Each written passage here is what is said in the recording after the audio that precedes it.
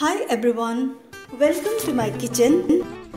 It's raining outside, so today I decided to prepare hot, steaming, juicy vegetable momos in Nepali style, which is appropriate to the weather.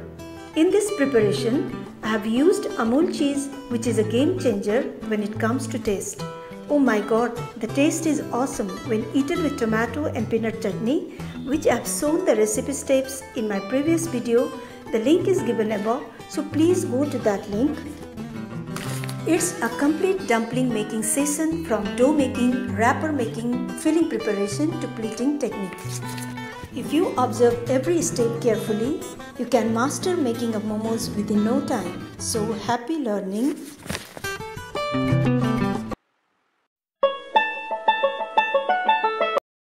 Let's go ahead with the preparation.